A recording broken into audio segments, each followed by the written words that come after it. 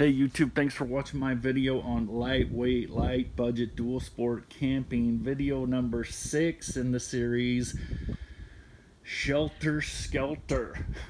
So I have been going back and forth on Shelter. But hey, first my disclaimer, I'm no vlogger. I don't edit videos. It's one take only take. It's me and an old iPhone recording this. Uh, I appreciate vloggers, but not me. Video production here low. But I'm gonna tell you what I've been going through for sheltering. So uh, I think my long-term thing is I wanna I wanna tarp lean-to off my moto. So I've been looking at that, and I really like Dyneema fabric for a tarp, but holy smokes, that's a originally a fabric that was used for sails. Super strong, super lightweight. Ultralight backpackers are totally into it, but wow, expensive. You can look at a, a Dyneema tarp for 300 350 i mean a lot of money so i'm starting to look at other alternatives and i've started looking at buying it in bulk my it's Mother's Day, May 12th today, and my mom is a great seamstress. I'm like, hmm, maybe I could uh, get something and customize it specifically for my moto, lean to off of it. I think that sounds really good. But in the meantime, May 12th, it's getting close to camping. There's a lot of campable stuff. And in fact, today I'm probably taking a, a little run up uh, Trail 006. It starts at Whiting Campground where I live in Utah. Uh, I I'm lucky I have National Forest about 10 12 miles from where I live and other stuff like right out my back door. So, and that's why my moto's dirty a lot. But, uh, yeah, it's about time to go camping. So I'm getting closer and I needed something. Now I have a, a buddy who I ride with who's also an ultralight backpacker and he's been busting my chops about you don't need a tent, get a get a hammock and I'll probably get a hammock, but for my purposes and knowing I camp some places that hammocks are just not the thing. There are no trees. And so I started looking at lightweight tents. And man, can you spend a lot of money on a lightweight backpacking tent.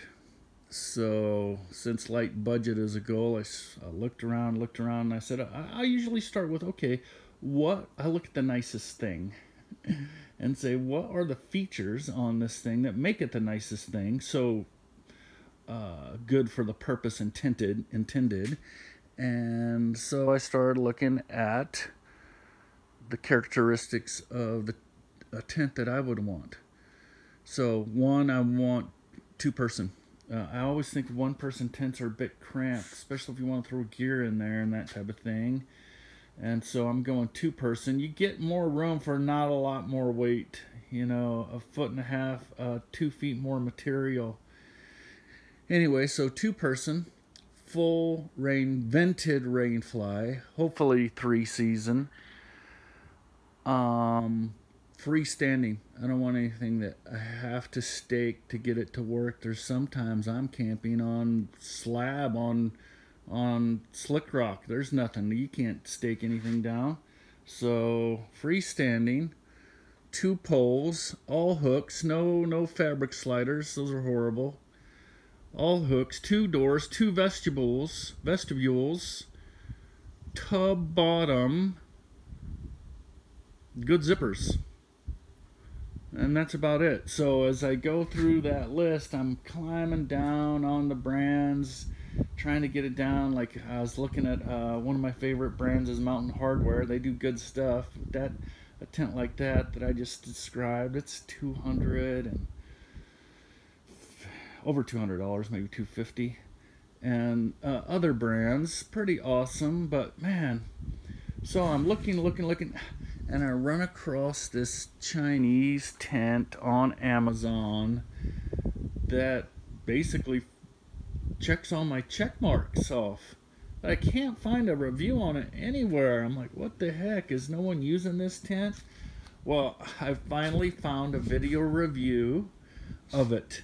And I'll put that in the description. It's kind of a funny review. Uh, well, one is the description's off, and the person re reviewing it is pointing to a tent that he isn't even reviewing on Amazon. And um, But after watching that review several times and seeing the vestibule size and the double doors, and uh, this person's daughter tested it out in the backyard, rained, no leakage. He talks highly of the quality. I was like, all right, and uh, the asking price on Amazon $75. Well, so I'm like, huh, that looks interesting. I just might bite the bullet and for 75 bucks, you know, how can I go wrong? Well, I'm also a person that looks in the used market and I was been looking at used lightweight tents um, and found a couple still up, you know, and usually people that have dumped uh, tents and have gone with a tarp and a hammock. But, uh, so I'm looking at this tent, Chinese tent, really going back and forth, and and my Facebook Market feed up it pops. Like, hey, that's the tent that I'm looking at. Person is asking 35 bucks for it. So I offered 25, and bam, I got I have a tent for $25 so that really makes me feel good about, hey, how can I go wrong? I use it for one season and then need to get rid of it. No big deal. So hold on, let me show it to you. All right, there it is. The Hewolf. I love the brand Hewolf. The Hewolf tent. Two person uh, you know, and most lightweight backpackers, ultralight people, if they're if they're doing a tent, they want three pounds or less. And again, that's hundreds of dollars more, and and a lot more than this twenty-five dollar job. But this tent weighs uh, two point, what is it? Two point four kilograms. Yes, five pounds, five point two pounds. Light lightweight enough for me for 25 bucks. So um, I've actually haven't taken it out and set it up yet. Uh, but like I said I will put the link in the description that shows the review and so you can get a real good look at it now here's if you're interested in this tent I guess the downside is I just looked on Amazon and it's uh, this one is no longer available but it'll probably become available again so I'm the Hewolf. The Hewolf tent. Uh, again, you can take a look at that uh, video review and get a good look at it. But 25 bucks, certainly light budget. 5.2 pounds, pretty lightweight, especially for the moto. Will fit great on the back of the bike. I'll probably have it just like that. Maybe, maybe go this way. I don't know. We'll see. Um, but pretty happy. I got some for 25 bucks. And again, I'm I look for deals. I could go buy whatever, but that's not how I roll. So that is it for video number six. Um, and I have, uh, like I said, we're getting close, May 12th. So I have some other things. I might shoot a couple, another, at least one more video today and get it up.